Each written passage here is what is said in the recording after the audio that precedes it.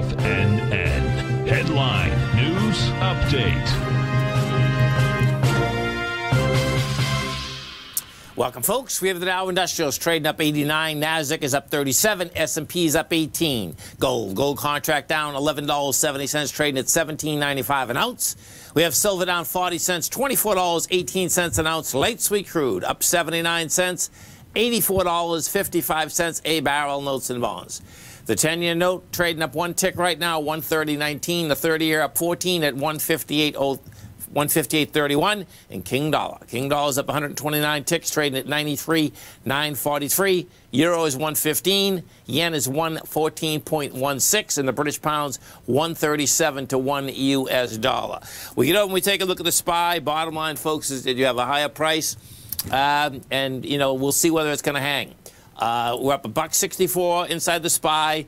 The high that it took out, took it out um, on Friday, was uh, 454. 05.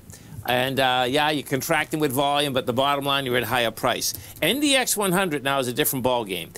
Um, it's always wild, folks, when you get a test, and the test is right to the penny. It's like, how does that work, man? So the three Qs today, they tested 382.71. You're at 379.81.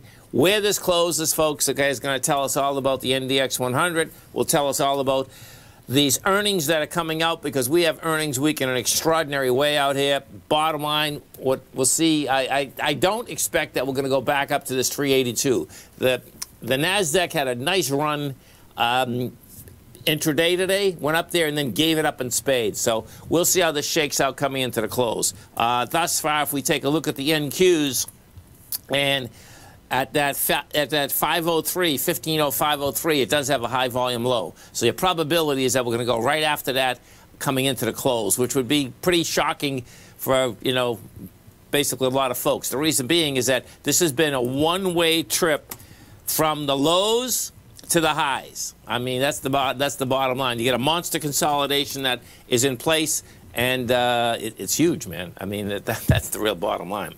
Gold, gold contract, they jammed gold down into the price point of 1783. It rejected lower price. You're at 1794. Gold contract wants to run up to this 1836 area. Stay right there, folks. Come right back.